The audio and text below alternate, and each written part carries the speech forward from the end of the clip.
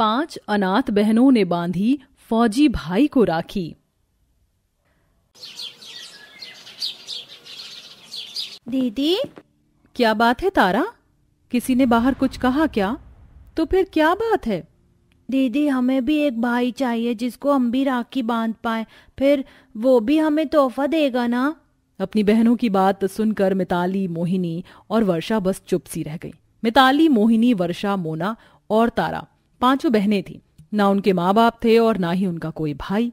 पाँचों बहनें ही एक दूसरे का सहारा थीं। मिताली और मोहिनी बाहर सड़क से ही कूड़ा बीन बीन कर बेचती थीं, जिससे कि उनका पेट भर पाता था। और पाँचों बहनें बस फुटपाथ पर एक तिरपाल के अंदर गुजारा कर रही थीं। अब रक्षाबंधन आने वाला था और पाँचों बहनों का बाहर सड़क पर रक्षाबंधन की तैयारियाँ देखकर राखी का त्योहार मनाने का बहुत मन था। लेकिन मिताली इसमें कुछ नहीं कर सकती थी, इसीलिए वो अपनी बहनों से बोली। तारा, मोना, भाई क्या बाज़ार में बिकते हैं जो तुम फरमाइश करो और मैं उसे पूरा कर दूँ? चलो घर में, अंदर बैठो और वर्षा दीदी के साथ घर का ख्याल रखो। तुम्हें भूख लगी होगी ना? हम दोनों अभी आज के खाने का इंतज़ाम करते हैं। मिताली और मोहिनी दोनों ही ऐसे बोलकर अपने घर से निकल गईं। अभी वो कूड़ा कचरा बीनने के लिए बाज़ार में ही आई थी कि तभी उन्हें भी बहुत सारे बहन भाई बाज़ार में देखने को मिले। सभी तरफ़ राखी का ही सामान मिल रहा था। मिताली और मोहिनी के पास से ही दो बहन भाई गुजरे। भैया मैं नहीं जानती हूँ। इस बार तो मैं आपसे राखी पर वही तोहफा लूँगी जो मैंने बोला है। अच्छा अच्छा ठीक है। तोहफा तो मैं तुझे दे दूँगा लेकिन बुद्धू अभी राखी तो खरीद ले। खरीद रही हूँ? भैया आपने बुद्धू किसको बोला? वो तेरे पीछे कोई था। अच्छा अभी बताती हूँ। दोनों भाई बहन में ऐसी मीठी सी अनबन को देखकर मिताली और मोहिनी का मन भर आया और मोहिनी मिताली से बोली परिवार भी किस्मत वालों को ही मिलता है ना? काश कि हमारा भी कोई भाई होता दीदी तो हम उसे राखी बांधते और रक्षाबंधन भी मनाते। सही कहा। हमारे नसीब में ये खुशी लिखी हुई नहीं है। अच्छा मोहिनी, ये सब छोड़। हमारी छोटी बहनें हमारा घर में इंतज़ार कर रही हैं। जल्दी जल्दी काम कर। मिताली और मोहिनी भरे बाज़ार में अपना काम करने लगी। उन्हें जहाँ कहीं भी कोई खाली प्लास्टिक बोतल, पन्नियाँ या कूड़ा कचरा मिल रहा था, वो सब कुछ पीन रही थी। कुछ देर अपना काम करने के बाद दोनों बहनों ने उस कबाड़ को बेच दिया और उससे मिले हुए तीस रुपयों से वो अपना घर, खाना लेकर गई। मोना, तारा और वर्षा, आ जाओ, हम खाना ले आए हैं। दीदी, आप क्या लाई हैं? दाल चावल है, आ जाओ। पाँचों बहनें तीस रुपए के लाए हुए दाल चावलों के इर्द गिर्द को बैठ गईं और उन्होंने खाना बनाया। ऐसे ही उनके दिन गुजर रहे थे। गरीब बहनें ऐसे ही अपना गुजारा करती थी। उनकी ज़िंदगी मुश्किलों से भरी हुई थी। अभी वो बस खा पी कर ही निपटी थी कि तभी तेज बारिश शुरू हो गई। अरे नहीं, बारिश हो रही है। दीदी, अगर ज़्यादा बारिश हुई तो हमारे तिरपाल का घर टूट भी सकता है। हाँ सही कहा। एक काम करो मेरी प्यारी बहनों, इस घर से निकल जाओ और तिरपाल को भी निकाल दो। इससे पहले कि इसे कुछ नुकसान हो। सभी बहनों ने अपनी बड़ी बहन की बात को माना और वैसा ही किया। वो सभी तिरपाल से निकल आई और उस तिरपाल को भी उन्होंने उतार दिया। तेज बारिश की वजह से वो पूरी तरह भीग चुकी थी। दीदी अब हम कहाँ जाएँगे? चलो अभी तो फ़िलहाल किसी छप्पर वगैरह के नीचे ही कोई जगह देखते हैं। पाँचों बहनें भटकने लगी। चलते चलते उन्हें एक बंद दुकान दिखाई दी जिसके आगे एक पाटिया थी।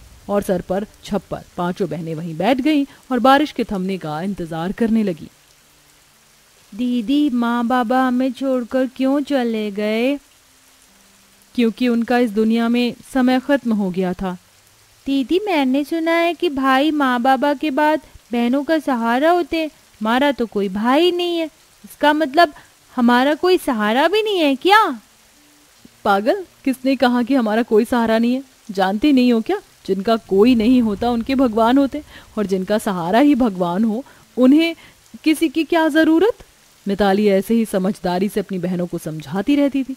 ऐसे ही उनके दिन गुजर रहे थे। जब बारिश शांत हुई और सड़क पर भरा हुआ पानी उतर गया, तब उन्होंने फिर से एक खाली जगह देखकर अपना तंबू लगाया और अपने रहने का इंतज़ाम किया। ऐसे ही सिलसिला जारी था और आज रक्षाबंधन का दिन था। सभी तरफ़ बाज़ार में चहल पहल हो रही थी और ऐसे में आज के दिन बाज़ार में ही एक फौजी मुकुल भी घूम रहा था।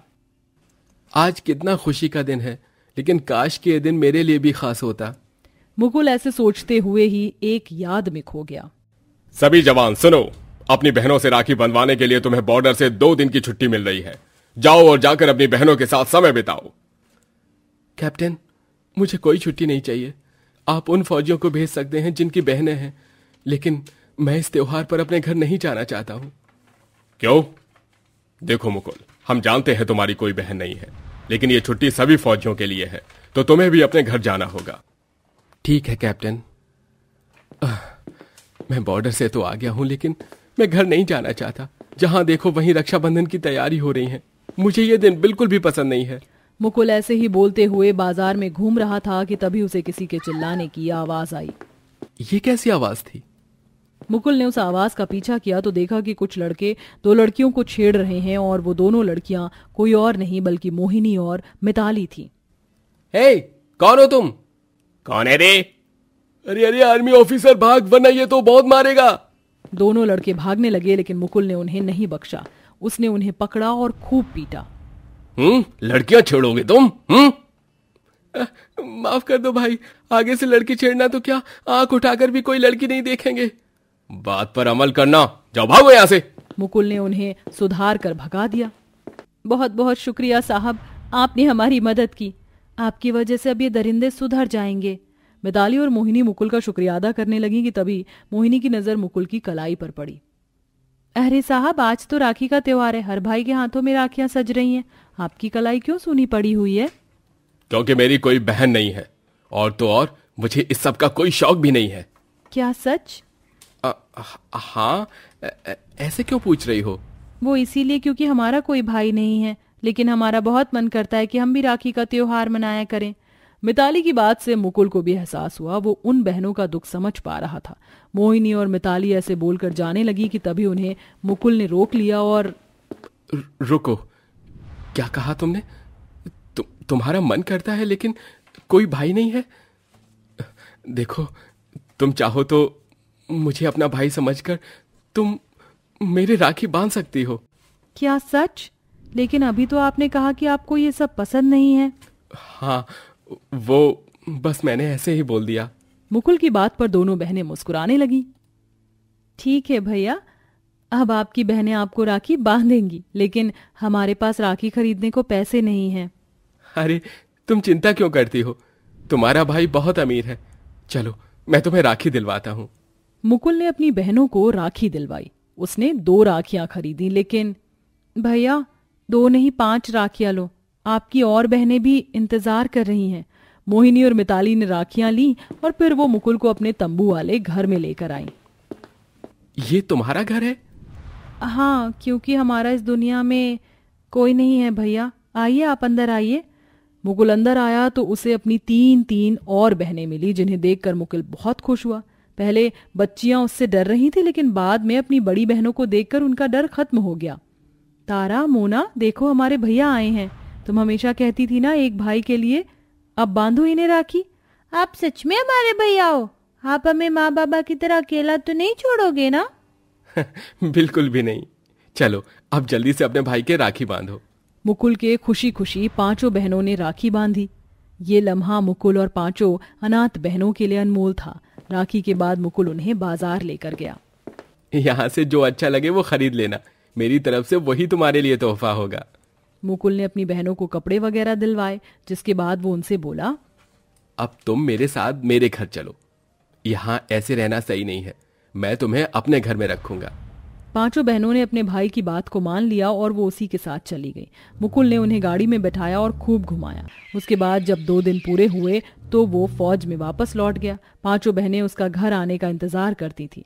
अब उनकी ज़िंदगी बदल चुकी थी। अमीर भाई की बदौलत अब उनके पास वो सब था जिसकी उन्हें ख्वाहिश रहती थी और अब सब कुछ बदल चुका था।